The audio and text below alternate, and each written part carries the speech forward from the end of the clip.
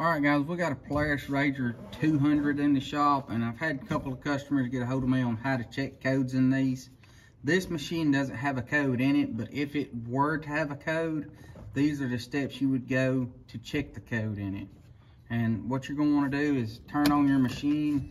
Once you have the machine on and it boots up, what you're gonna do is hit your mode button and hold it down till you reach your options menu. Now, when you're in here, you're going to scroll through and if there's a code on you're going to run across and it's going to say diagnostic.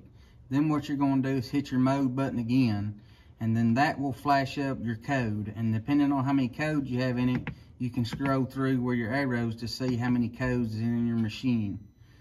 And then once you get your codes and take a picture of them with your phone or whatnot then you can turn off your machine take them codes and go look them up to see what is ailing your machine so if you guys find stuff like this helpful, don't forget to subscribe to our channel here. As always, we appreciate you guys following along. We'll catch you in the next video.